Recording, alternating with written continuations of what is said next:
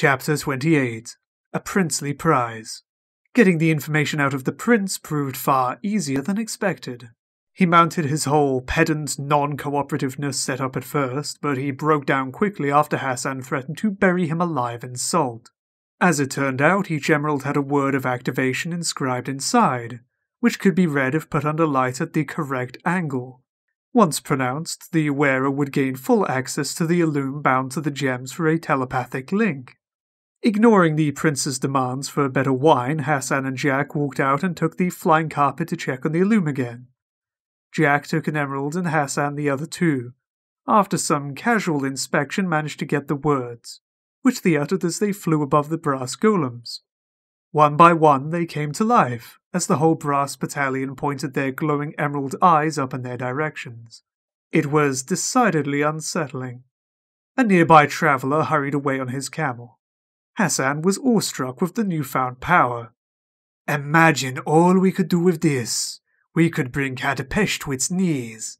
Indeed, said Jack.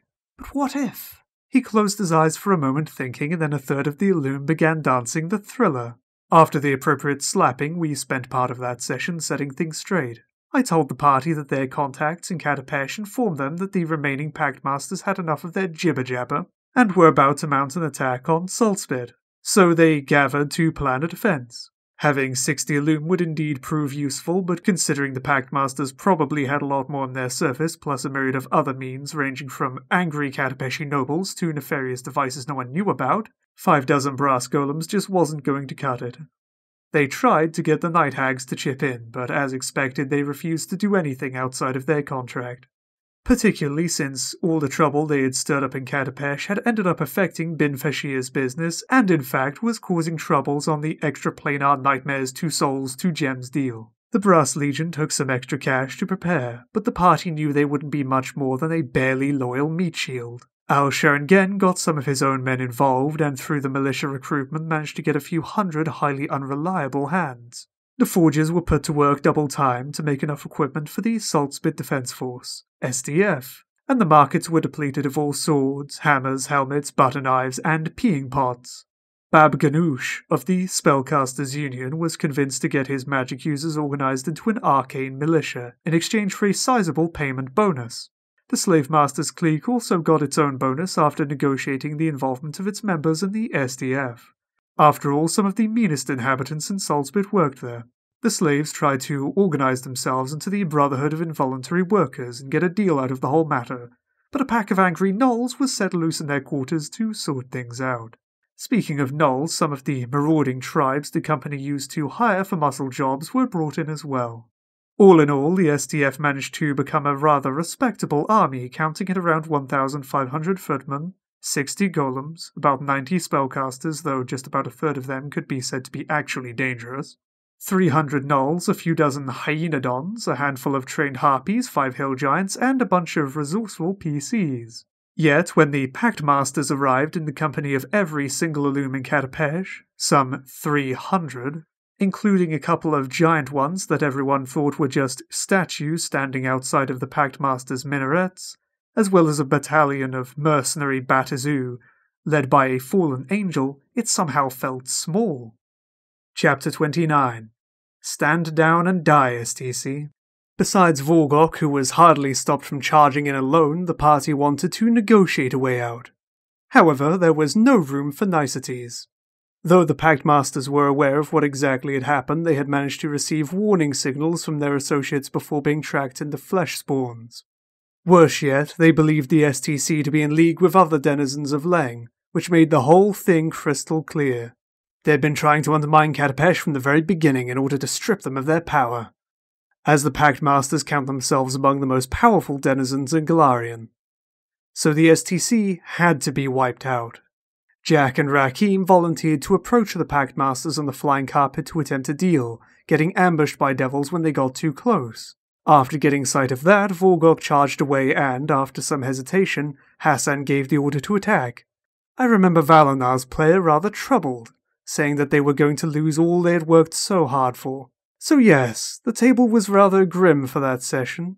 We ended it in a cliffhanger as it was getting late and battle would surely take long. One of the reasons I like to stop sessions in cliffhangers sometimes is to both give everyone a sense of tension and to make them eagerly await the next meeting, and give them time to think. So I tend to do it mostly when I know they're in big trouble. This case was no exception. The next session, Hassan and Jack asked me about fallen angels, and we talked about how they end up like that after betraying their calling and becoming compelled by the burden of sin to act as they do. Next, Jack used some bardic lore regarding mercurial waters and whether they could cleanse really ugly sins, to which I said yes. From that point, their plan was rather evident. On a seemingly unrelated topic, prior to starting the session, Hassan also asked about what happened to the conjunction of the quasi elemental plane of vacuum and the negative energy plane.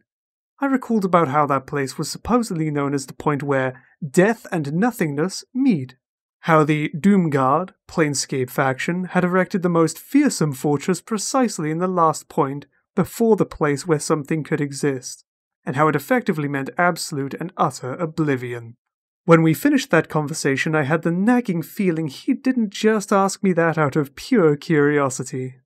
Hassan's player tends to dislike the whole inner plane stuff, probably because I used them to torture the group with a lot of puzzles related to it and he never managed to solve them but that plan wasn't so obvious to me.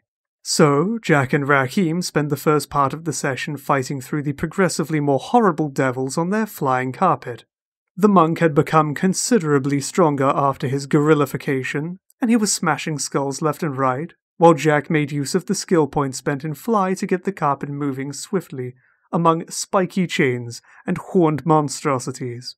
Eventually, they made their way to the Beatu's leader, an appropriately edgy fallen angel with excessive use of eyeliner, with Jack orbiting him as fast as he could to avoid his spells.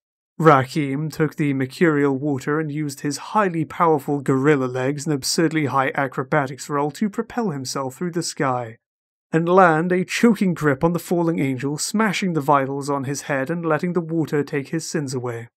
Lots of hissing, screaming, and falling took place in a short period of time, but eventually light broke through the menacing clouds, and Rimmel evacuated the fallen angel's face, who got a hold of himself just enough to avoid having both smashed against the desert ground. After an emotively cheesy speech, the redeemed angel took onto his army of devils and gave his life to sever the link that held them to his plane, sealing the wobbles between dimensions and instantly dissipating the entire Beatu force. While the Illum kept fighting, and in truth they were winning with or without the Devils, the sudden dimensional blockade left the Pactmasters wavering, to which Jack quickly reacted and shot the carpet in their direction.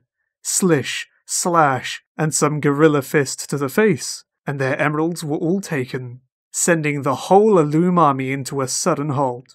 It took some seriously lucky saves and fly rolls for them to avoid most of the spells, furiously thrown their way by the Pact Masters.